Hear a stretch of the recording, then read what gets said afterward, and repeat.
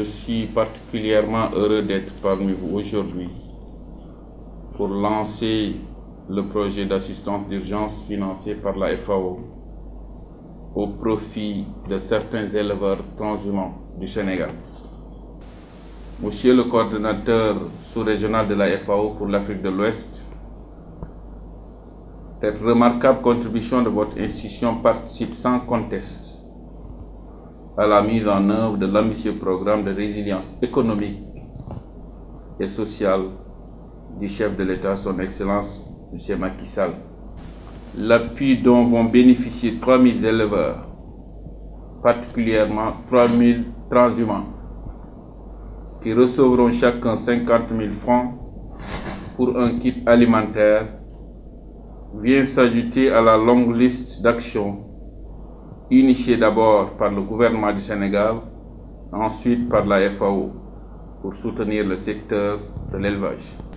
Mesdames, Messieurs, la pandémie de la COVID-19 a provoqué une crise sanitaire sans précédent aux conséquences imprévisibles sur tous les secteurs d'activité de l'économie nationale.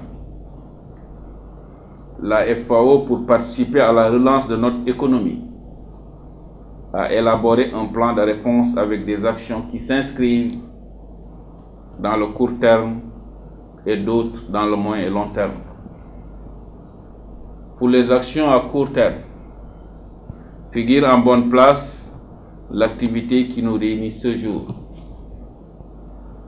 Le projet de cash transfert que nous lançons entre dans le cadre de l'assistance d'urgence de la FAO pour renforcer la résilience de 3000 éleveurs transhumants sévèrement affectés par les effets de la COVID-19. Permettez-moi, monsieur le représentant et coordonnateur sous-régional de la FAO pour l'Afrique de l'Ouest, de vous inviter, au nom de son Excellence le Président de la République du Sénégal, à travailler sans relâche au renforcement de la coopération exemplaire entre votre institution et le gouvernement du Sénégal pour le bonheur de nos populations. Pour le secteur de l'élevage, vous pouvez compter sur mon engagement et celui de l'ensemble de mes collaborateurs. Je voudrais, pour clore mon propos, réitérer mes vifs remerciements, pour ne pas dire les plus sincères, pour la réalisation de ce projet d'appui d'urgence aux éleveurs transhumants dont je déclare officiellement le lancement à partir de ce lundi 27 juillet. Je vous remercie de votre aimable attention.